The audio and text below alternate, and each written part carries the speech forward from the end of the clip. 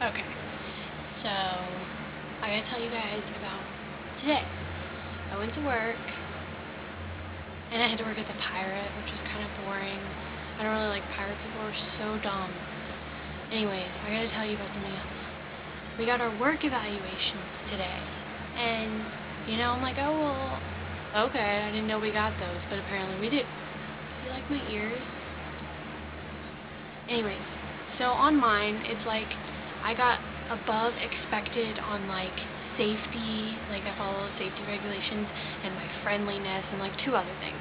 And then on everything else, I got like average expectations. I'm like, okay. But then I look at the comments of my evaluator, and they're like, for a first time employee, she's doing really good with all the safety stuff and stuff, and blah, blah, blah. And then they're like, she needs to work on outgoingness and approachableness. And I'm like, one, how are you going to say that I'm really friendly but I'm not approachable? It's kind of like contradictory, right? Because if I'm not approachable, then how would anyone know that I'm friendly? So I was like, whatever. And then the other thing, outgoingness.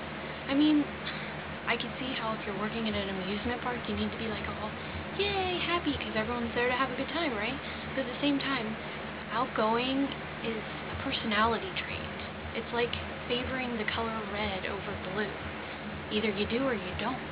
Either you're shy or you're outgoing. And they can say, we'll change it, and then you'll be good. But really, you can even fake being outgoing, but at the end of the day, you're still shy. You can't just change it. It's not a changeable thing. And, you know, I can fake outgoing, but at the same time, then it just makes me even more like, like, insecure or whatever. Like, because then I'm going to be like, did I say something stupid? Did I look stupid? And you're constantly like, am I insulting anyone? Because there's lots of different people there, and you, you have to be careful what you say to people because you just don't know them. So I'm like, I'll pretend to be outgoing for you, but it's a personality trait, and I happen to get shy. And I'm sorry, but it's the way I am. So, anyways, I was just like, that's rubbish. I told Steph that, joking around though. She's like my green tag supervisor person. So I guess I'll work on it. And I think tomorrow when I go back, I'm going to ask them for a copy of my evaluation so that I can work on everything because I feel like I want to be above average on everything just so I can get the outstanding employee name tag. but everything else made me pretty good. It was just that one thing. Because, you know, I've been told that my whole life and it's just not something you can just up and change. It's who you are. I am shy. Like, you know, right now, I don't care what I'm going to say because really, if people don't like it, they don't have to watch. But when you're talking to someone, it's kind of rude to just walk away if they don't like what you're saying. And I don't know, it's just different. It's easier to be outgoing when you don't know anyone that's viewing you than when you see the person that you're working with every day. Or the customer or guest could go and make a complaint about you just because you accidentally said something to offend them. So really, I would rather shelter myself than take the risk of hurting someone's feelings or something. It just really made me mad that it didn't really make me mad. It just made me think like people have been saying that my whole life, and I haven't changed yet. I'm not gonna.